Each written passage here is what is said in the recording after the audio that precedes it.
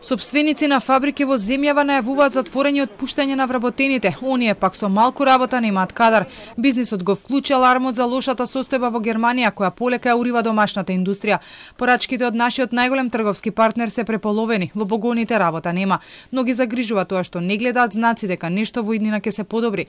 Дали е на прагот нова економска криза не сакаат да веруваат, но велат дека состојбата мора внимателно да се следи. Јас гледам што се случува во компаниите замислите од една страна имаме недостатна работна сила, од друга страна се компанија јавуваат кои сакаат да затвараат, да напушаат работници. Да, ево вчера ми се јави една колешка од Штип која има некаде останат уште 50 работници, а порано имаше 350 работника и прашува за технолошки вишок и за напуштање и така натаму.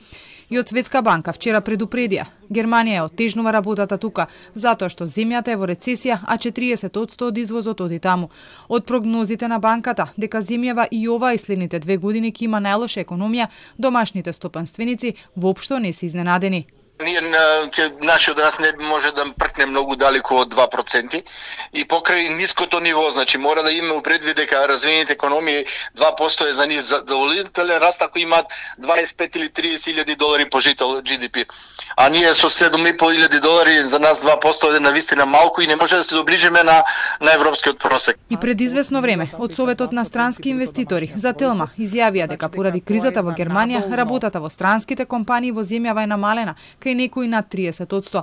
Во дел од фабриките укината е смената за време на викенд, а новите вработувања кои ги планирале најверојатно ќе се одложат. Премиерот Мицковски пак кој имаше средба со германските стопански комори, рече дека она што се случува таму во земјава ќе се рефлектира дури идната година.